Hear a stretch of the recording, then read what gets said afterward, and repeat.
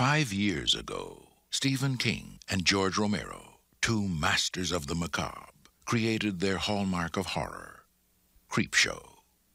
Many would argue that nothing of significance has happened since. Until now. Maybe you don't get out much. Oh, this is crazy. This is totally crazy. Maybe you're always running late. I gotta go. Or maybe you just have other things on your mind. They gotta make me a movie star. But if you only make it to one scary film all year, make it one you remember all year long. Creepshow 2. If you like movies that will keep you stuck to your chair. Stephen King and George Romero have conjured up an all-new Creepshow. No! That's impossible! Just for you.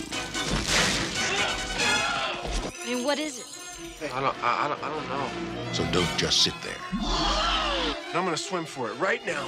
Walk. Run. Swim if you have to. I got you!